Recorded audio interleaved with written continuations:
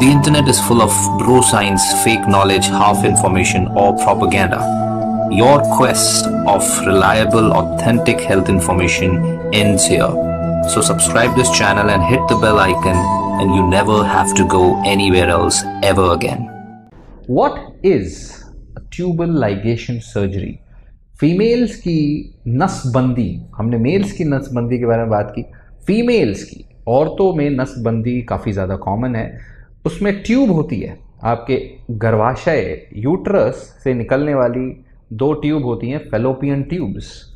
इन fallopian tubes को tie कर दिया जाता है उसको में गांठ मार दी जाती है, जिसे कहते हैं ट्यूबल लाइगेशन। इस, ये क्या करती हैं? ये आपके गर्भाशय को आपकी ओवरीज से कनेक्ट करती हैं। ओवरीज से जो अंडा अंडा निकलता है, महीने में एक अंडा, वो मैच्योर होके वो इसी रास्ते से फेलोपियन ट्यूब से आपके गर्भाशय में आता है। गर्भाशय में इम्प्लांट होता है और वहाँ से ग्रो होके बच्चा बनता है। अगर उसको बीच रास्ते में स्पर्म मिल गया तो नहीं मिला तो महीना निकल जाता है। तो अगर हम इस चीज़ को इस ट्यूब को ही लाइगेट कर दे दोनों साइड दोनों साइड ट्यूबल लाइगेशन कर दें, यानी उसको बाँध दें।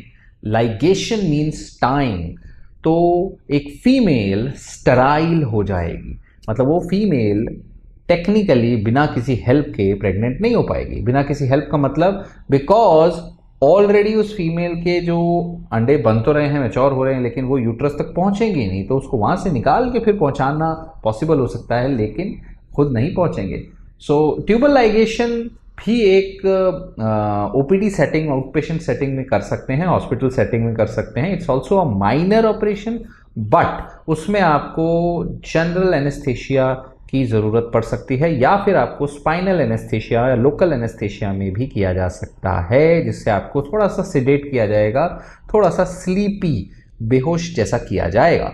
आपके डॉक्टर ऑपरेशन सर्जन सर्जन आपको एक से दो छोटे इंसीजन देंगे आपकी बेली के नीचे, पेट के नीचे साइड में अराउंड द बेली और उस बेली बटन यानी यहाँ पर बेली बटन के पास में और वहाँ पर आपके दो गैस भर के, आप गैस यानी पेट में ना वो लेप्रोटॉमी के टाइम गैस भर दी जाती है तो पेट ऐसे फूल जाता है कमरा बन जाता है। उस कमरे में वो डालते हैं एक दूरबीन। फिर वो डालते हैं एक दूरबीन, दो एक दूसरी इंस्ट्रूमेंट जिसमें कटर होता है, जिसमें बहुत सारे टाइप के अलग अलग उससे क्या करते हैं, फिर वो ढूंढते हैं कि ये ट्यूब है, ये ट्यूब है ओके ये ट्यूब है।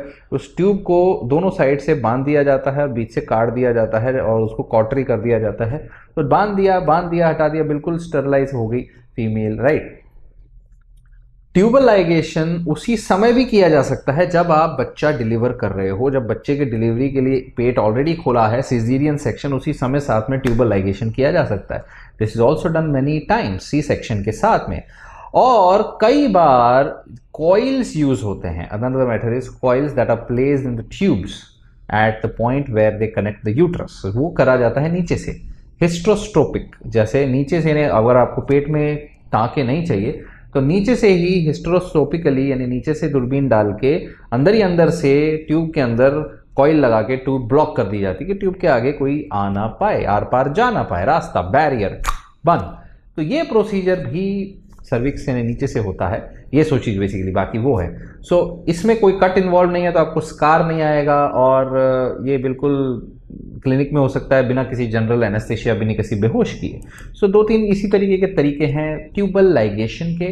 ट्यूबल लाइगेशन उन्हीं को रेकमेंड है जिनको और आगे बच्चे नहीं चाहिए प्रेगनेंसी नहीं चाहिए और इससे आपके ओवेरियन कैंसर के भी रिस्क कम होते हैं माइंड वेल ओवेरियन कैंसर का रिस्क कम होता है, जो आपके 40 इयर्स एज में है, जिनको हिस्ट्री है ओवेरियन कैंसर की, वो बिल्कुल ऐसे कर सकते हैं कि वो अपना पूरा का पूरा ट्यूब ही निकाल लें क्या कि वो आगे रिस्क उनका डेवलप ही ना हो दैट इज़ पॉसिबल और सम वुमेन कुछ लोगों का ट्यूबल लाइगेशन जो है, वो होने के बाद उनको लगता है कि नहीं, मुझे नहीं कराना उनको लगता है कि वापस रिवर्ट करना है फिर से चाहिए। तो उनके केस के लिए again is basically permanent form है बर्थ कंट्रोल का। और अगर आप शॉर्ट टर्म में कराना चाहते हैं तो ये नहीं करना चाहिए। ऑब्वियसली अगर इसको वापस रिस्टोर करना हो तो मेजर सर्जरी है सक्सेस होगी नहीं होगी कह नहीं सकते पर ये पॉसिबल है। अगेन रिवर्सल है। सो so, ज़्यादातर लोगों को जिनको ट्यूबर लाइगेशन होता है वो रिवर्सल चाहते हैं। ये मोर देन हाफ़ लोग। तो इसीलिए इट्स वेरी वेरी इंपॉर्टेंट कि आप इसके इन्स एंड आउट समझें। और अगर नहीं ट्यूबलाइजेशन रिवर्स करना है तो आप आईवीएफ करा सकते हैं। In vitro fertilization obviously possible होता है।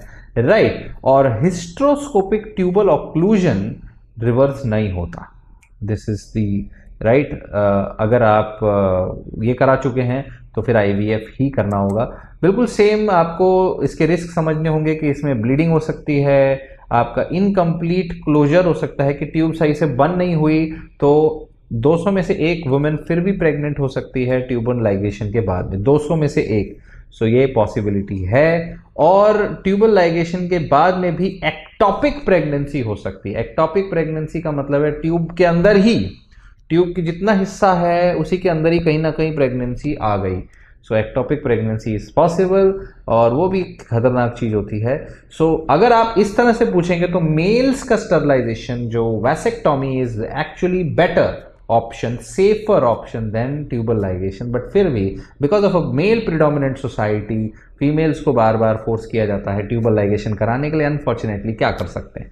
Right right? और ट्यूबल लाइगेशन में इवन अंदर जाते हैं तो पेट के अंदर इंजरीज होने के रिस्क होते हैं।